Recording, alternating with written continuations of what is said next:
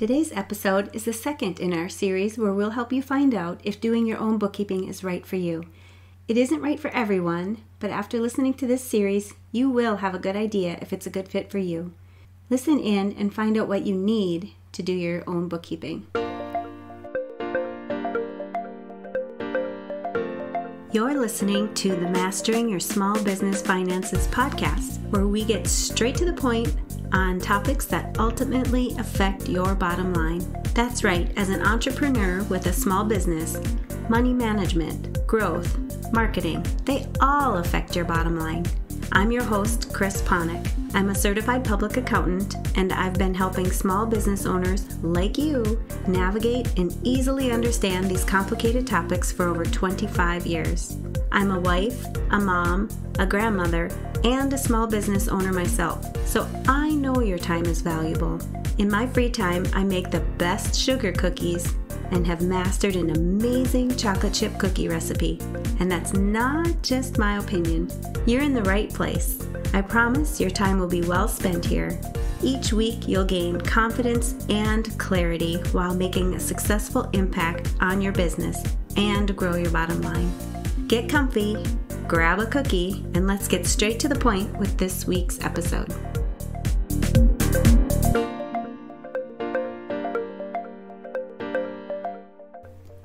Are you looking for a computerized software solution to do your bookkeeping? I highly recommend checking out QuickBooks Online. I've been using QuickBooks myself for over 20 years, and they really know how to streamline processes and make your bookkeeping and recording your transactions simple and easy. QuickBooks is one of the top software solutions used by small business owners, and I would say that over 95% of my clients are currently using QuickBooks for their businesses. One of the features most of my clients and I take advantage of is the option to set up bank feeds. You simply link your bank account to your QuickBooks account, and QuickBooks will automatically import each transaction into your QuickBooks file.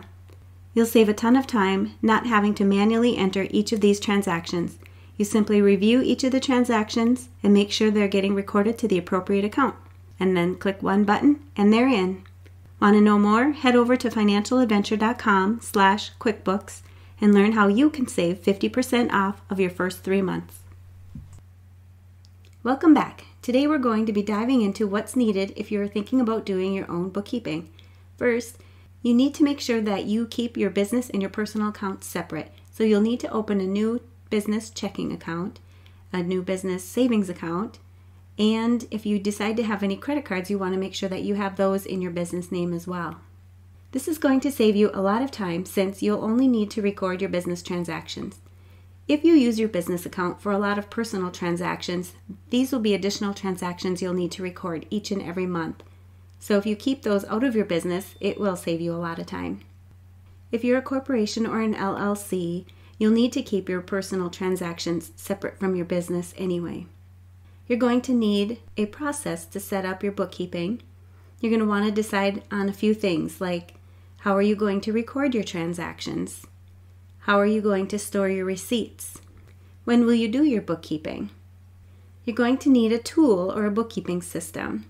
There's many options available, and your first decision will be whether you want to do your bookkeeping manually with something like Excel or a spreadsheet, or if you want to use a computerized software system such as QuickBooks, Xero, or Wave. When looking into software, you want to make sure that you compare pricing and options. This will be a really important part of your bookkeeping, and you'll want to make sure that you enjoy the system that you choose, or it will make doing your bookkeeping something that you dread, and you'll most likely put it off, and you don't want that to happen. Some knowledge of accounting and finances will be helpful as well, but I promise you'll learn more about all of this when you continue to do your bookkeeping. Most computer systems do all of the back end processing, so you don't need to worry about accounting concepts and what's happening behind the scenes, like what's getting debited and what account is getting credited. That's all happening automatically for you. But it is important to have a general understanding of some of the important terms. Here are a few that I thought would be good to go over quickly today assets, liabilities, and equity. You'll hear people talking about this a lot. These three items all show up on your balance sheet. Assets are what a company actually owns, and they're made up of items like inventory, accounts receivable, cash, and fixed assets. Liabilities are truly what the company owes.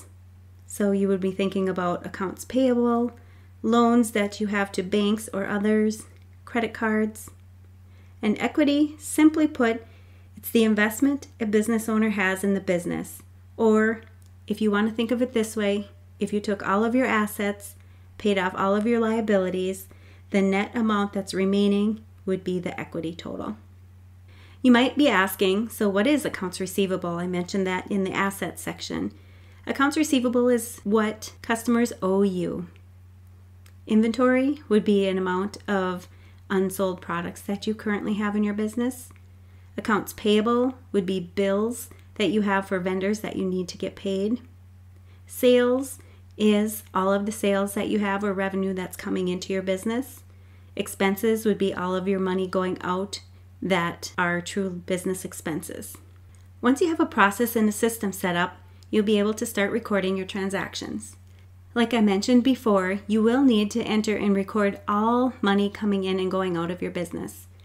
This includes items like invoices when you're recording sales to your customers, bills that you have coming in to record any of your expenses, personal transactions. I know we mentioned before that you should keep all of your personal transactions out of your business, but let's be honest, we know it's going to happen sometimes. But when you have a personal transaction, you need to record it as a draw or a contribution, which actually is in your equity section that we talked about previously as well. Credit card transactions, you'll need to make sure that you get all of those accounted for and any additional income or expense that might be running through your business. All right, to recap this episode, we want to make sure that number one, you keep your business and personal accounts separate. You need to set up a process to do your bookkeeping. You need a tool such as a bookkeeping system, or if you decide to do it manually, that's fine too. You need to have some knowledge of accounting, but like I mentioned before, also, you will start to learn that as time goes on. If you're starting to consider doing your own bookkeeping, make sure to grab our free guide on the five essential strategies for stress-free bookkeeping. Go to financialadventure.com slash five essentials to get your copy. That's the number five and essentials. And what's at least one thing you will take away from this episode that will help your business succeed and grow your bottom line? Do you need to be held accountable? Join our private Facebook group and post your action item. We'd love to support you. Thanks for taking the time to tune into this episode of Mastering Your Small Business Finances. If you enjoyed this episode as much as I enjoyed creating it for you, I'd love for you to give it a five star rating and subscribe to the show so you never miss an episode. Visit financialadventure.com for the show notes, links from this episode, and while you're there, leave a comment if you have a topic you're interested in learning more about that affects your bottom line. If you're looking for a community where you can ask questions and get feedback about your small business, join my private Facebook group. You can find the links to this group and more on financialadventure.com. And remember, any financial information shared on this podcast is not to be considered professional, financial, or tax advice and should not be solely relied upon. Please consult your CPA or tax advisor for an opinion on your specific circumstances. I'm looking forward to having you tune in next time.